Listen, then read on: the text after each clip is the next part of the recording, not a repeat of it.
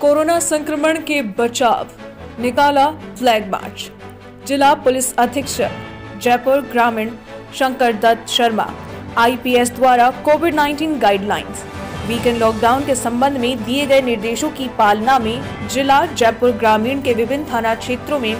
Police अधिकारियों, कर्मचारियों के द्वारा आम नागरिकों को जागरूक करने और कोरोना संक्रमण के बचाव हेतु संदेश देने के लिए फ्लैग मार्च किया गया। नवभारत समाचार जयपुर राजस्थान से अशोक शर्मा की रिपोर्ट।